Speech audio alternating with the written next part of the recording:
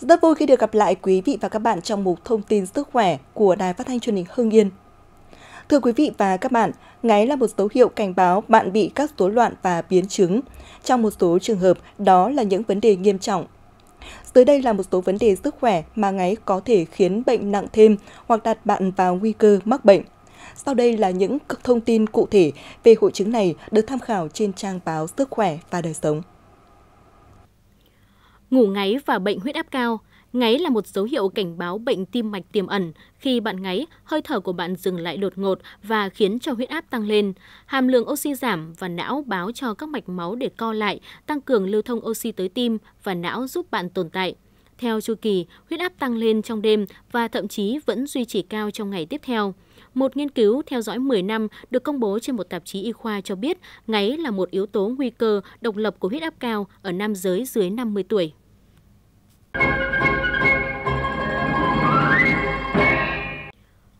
Ngủ ngáy và bệnh tiểu đường Ngáy là một trong những nguyên nhân dẫn tới dễ bị bệnh tiểu đường tuyếp 2. Phụ nữ đặc biệt dễ bị căn bệnh này. Khi cơ thể bạn phải cố gắng để lấy oxy, nó buộc phải chuyển sang chế độ căng thẳng. Điều này ngược lại làm tăng hàm lượng glucose và dẫn tới bệnh tiểu đường tiếp 2 trong tương lai. Nghiên cứu theo dõi 10 năm được thực hiện trên 1.957 phụ nữ cho thấy ngáy góp phần trở thành một yếu tố nguy cơ gây tiểu đường tiếp 2, thậm chí sau khi đã tính đến chỉ số khối cơ thể, tiền sử hút thuốc và tiền sử mắc bệnh tiểu đường của cha mẹ.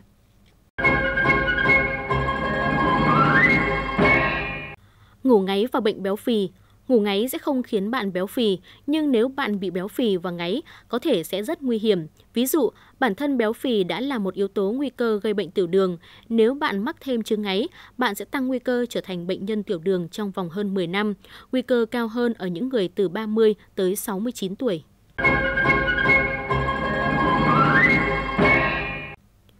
Ngủ ngáy và đột quỵ Nhiều nghiên cứu cho thấy bản thân ngáy có thể làm tăng nguy cơ đột quỵ. Một nghiên cứu công bố trên tạp chí Journal of Sleep Research năm 2003 cho biết, ngáy khi ngủ ban ngày làm tăng nguy cơ bị đột quỵ. Có rất nhiều nguyên nhân dẫn đến ngủ ngáy ban ngày, ngừng thở khi ngủ có thể là một trong những nguyên nhân này.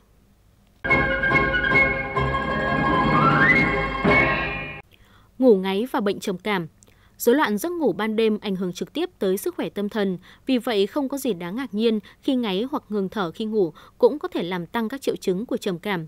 Trên thực tế, một nghiên cứu gần đây đã phát hiện ra ảnh hưởng của ngáy lên sức khỏe tâm thần, trong đó chỉ ra rằng phần lớn những người ngủ ngáy 30 đến 50% đã được kê đơn thuốc trầm cảm.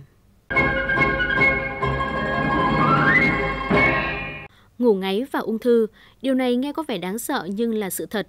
Thiếu oxy là một trong những yếu tố góp phần khiến cho các tế bào ung thư phát triển trong cơ thể bạn. Người ta tin rằng hàm lượng oxy thấp trong máu khiến cho mạch máu phát triển nhiều hơn để bù đắp sự thiếu oxy đến các mô và tế bào.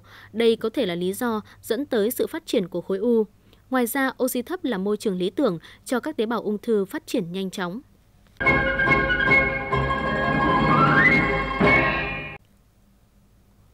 Ngủ ngáy và một số căn bệnh liên quan khác Ngáy vào ban đêm có thể khiến bạn bị nhức đầu nhẹ nhưng dai dẳng thậm chí cả ngày hôm sau. Tình trạng đau đầu buổi sáng rất phổ biến ở những người bị ngáy. Ngoài ra, họ thậm chí có thể bị đau nửa đầu, mất ngủ và căng thẳng tâm lý.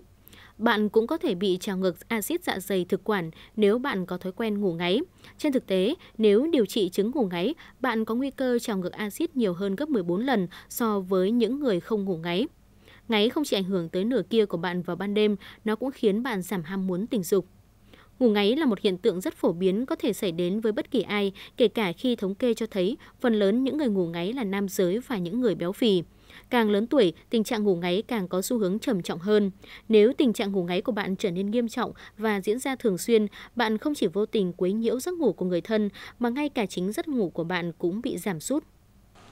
Quý vị và các bạn thân mến, nguyên nhân gây ra chứng ngủ ngáy và cách khắc phục sẽ là thông tin mà chúng tôi truyền tới quý vị và các bạn trong một thông tin sức khỏe ngày mai. Mời quý vị và các bạn cùng chú ý theo dõi. Một thông tin sức khỏe ngày hôm nay xin được khép lại tại đây. Thân ái chào tạm biệt.